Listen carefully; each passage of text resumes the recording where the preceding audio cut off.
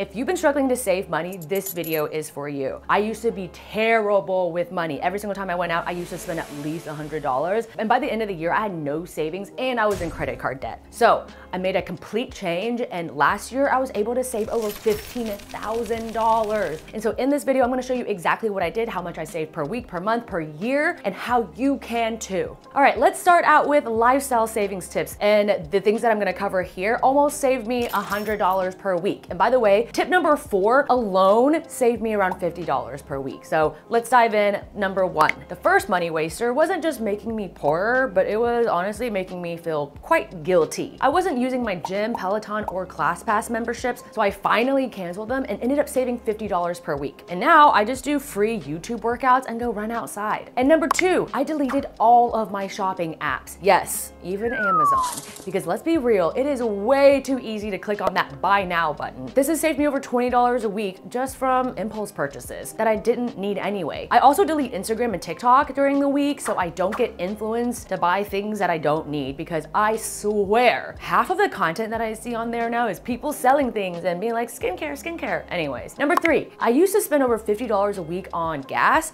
but since I started using the free Upside app, I've earned an average of 15 cents per gallon cash back into my pocket. And that equals around $2.50 per week. And that's real cash. I know that it may not seem like a lot, but you should be earning cash back into your bank account whenever you can. And if you're new to Upside, learn more in this video. Number four, even though this is a personal choice, this puts at least $45 per week back into my pocket or bank account. And it's alcohol, okay? So although I was never really a big drinker, a lot of us who are over 21 know that cocktails and even well drinks these days are ridiculously priced. After tipping, I end up spending at least $30 on just a couple of drinks. And if I have three drinks per weekend, that's around $45, not including the occasional beer or glass of wine at a restaurant. So when I do go out with friends or want drinks with dinner, I always take advantage of one of the upside offers for either restaurants or bars. And one of my favorite places to get dinner and drinks here in New York usually offer 11% cash back in the Upside app. Okay, and then I'm gonna give you a hot tip on how to make even more money back. I always offer to put my card down and pay for friends tabs when we go out, and then I just Venmo request them because that way I can earn up to $10 cash back from Upside, which is like a whole other drink. So if you go out once a week, you earn $10 every week. I mean, that adds up. If you have not downloaded the Upside app yet, you can get an extra 10% cash back on your first restaurant with the code YouTube10. Okay, so you might already use some of these food savings hacks, but the third and fourth tips are honestly the least common ones that I think most people don't even know how to use and just don't know about. So number one, to start, I stopped buying coffee every day. It cost me an average of $6 a day, including tip. And buying coffee every day used to cost me at least $30 per week. And a bag of coffee costs around $12. I mean, this one from Trader Joe's was like way less than that. And this bag lasts an entire month. So if I'm drinking coffee every day, buying this bag only cost me $3 per week. And that means I save $27 every single week. And if I want the convenience of buying coffee, I just use literally instant coffee. Like it's, I think it's great.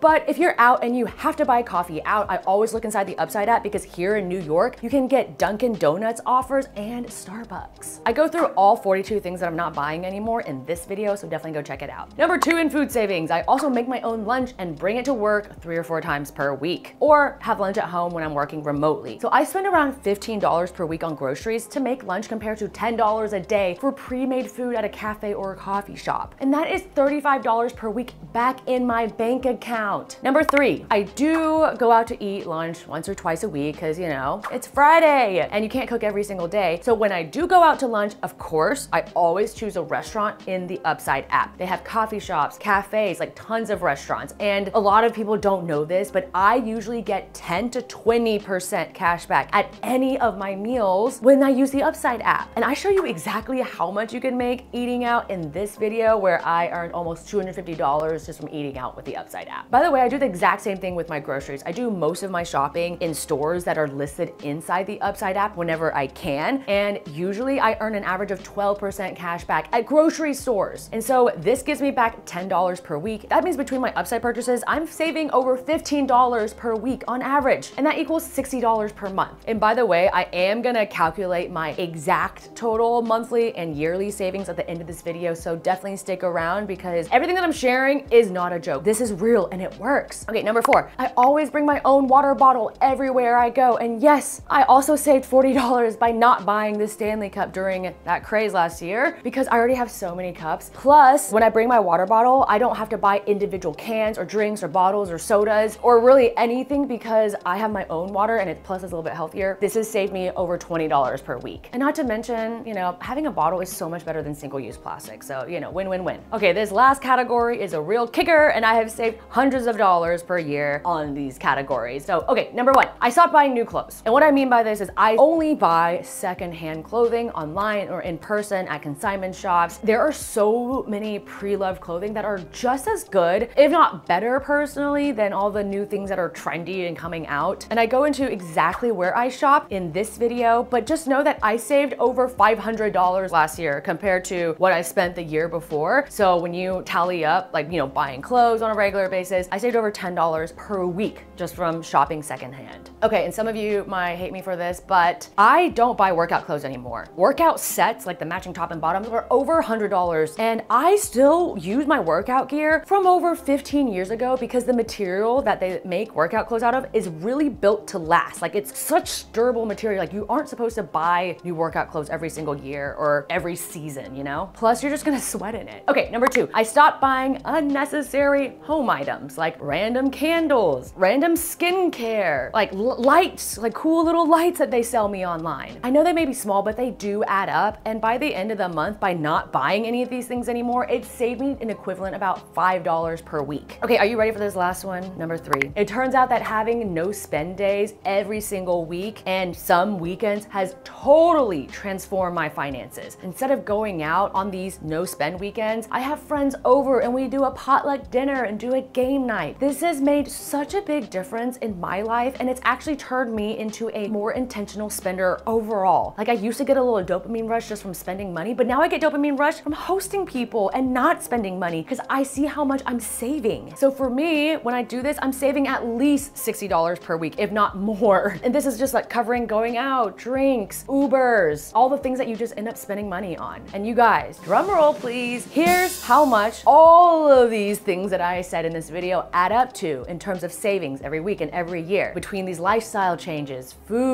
unnecessary purchases, I'm saving an average of $300.50 every week. That's $43 a day, and that adds up to $15,730 per year. And I put 10,000 of that into a high yield savings account where I earn over 4% in interest, and that gives me over $400 bonus on top of what I already saved. And like literally, I don't get gas, groceries, or eat out unless I'm using Upside because, you know, I'm frugal and I want to save more money. And this is how you do it. You have to have, you know, these systems in place and draw some boundaries on what you're gonna spend on and what you're not gonna spend on. At the end of the year, you're gonna look at yourself, you're gonna be so proud that you saved all this money. You can do it because I did it, okay? Thank you for watching. See you guys next time.